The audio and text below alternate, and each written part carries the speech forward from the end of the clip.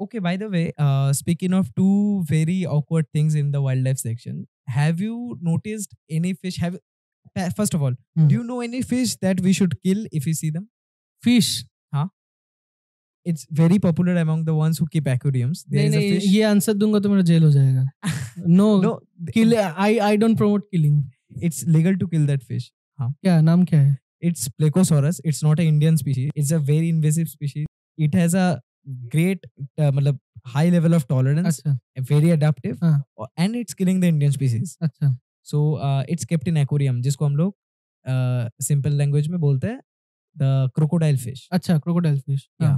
The crocodile fish उसको scientifically scientific name I think is plecosaurus. And वो India का species नहीं वो बाहर से लाया गया था and now the thing is उसको एक्वेरियम में रखने के बाद कुछ दिन बाद वो बहुत बड़ा हो जाता है। तो लोग करते अच्छा। क्या है उसको जाके लोकल के पॉन्ड या वाटर बॉडी में छोड़ देते हैं।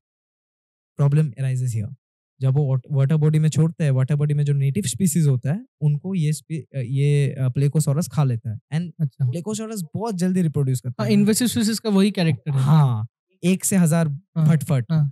सो मैं एक वीडियो देख रहा था जहाँ पे अ, ये बोला गया था कि अगर आपको प्लेकोसोरस दिखे कहीं पे किल इट एंड अगर आपको कोई दुकान या फिर एक्वेरियम का शॉप दिखे who is promoting plecosaurus don't buy it और complain to the nearest NGO so this is a legal fish you can very good information ये मुझे पता हाँ। नहीं था हाँ।